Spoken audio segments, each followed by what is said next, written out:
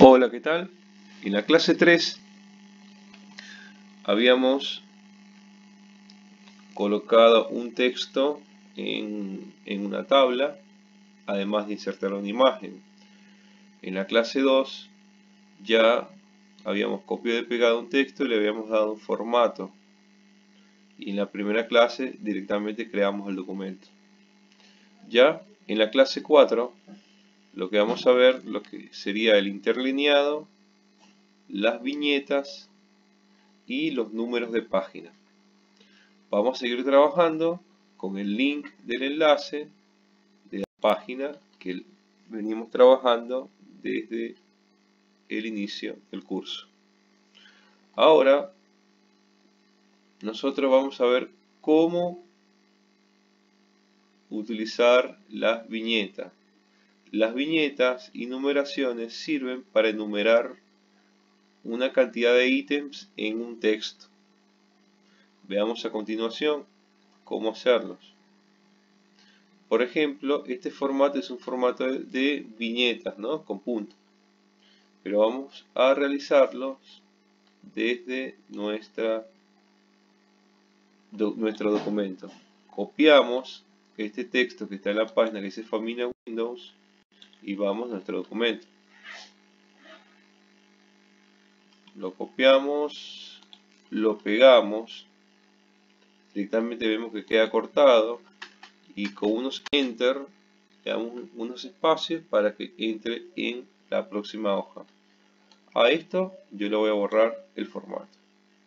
Se recuerdan que era con la T con la raya cruzada vamos a darle otro tipo de viñeta. Yo selecciono estos ítems que están acá. Y puedo dar por ejemplo números.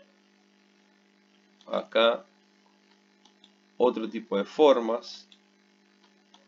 Cuadros. Puedo también quitarlos. Puedo agregar flechas. Puedo agregar estrellas o puedo agregar directamente otro tipo de eh, símbolo. También les quiero aclarar que cuando hacen el formato de viñeta, hacer un enter hacia abajo, se crea una automáticamente. Es decir que está preparada para agregar más ítems todavía. Y con hacer dos ya desaparece. Porque entiende que no van a seguir el programa entiende que ya no se hace con la lista de ítems. Bueno, van a hacer este ejercicio, van a colocar una viñeta personalizada.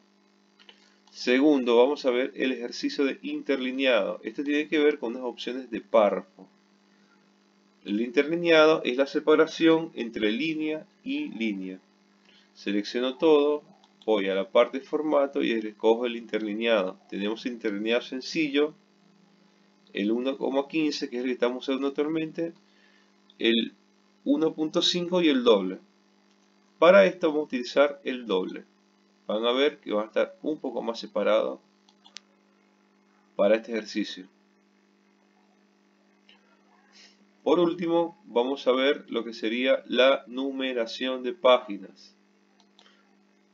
Vamos a insertar. Y vamos a ver los formatos, posibles formatos de numeración de página. Lo podemos tener arriba, arriba y a la derecha. Vamos a insertar o podemos cambiar por arriba y a la derecha, pero que la primera, la primera página no se nombre, no se numere. Podemos hacerlo a la esquina de abajo y que se numeren todas las páginas o también tiene la opción de que se numeren abajo y a la derecha pero que la primera página no se numere. Para este ejercicio les voy a pedir que lo hagan de la manera que deseen arriba o abajo pero que la, la primera página se numere. Finalmente el archivo queda guardado automáticamente porque estamos trabajando con Google Docs. Hasta la próxima clase.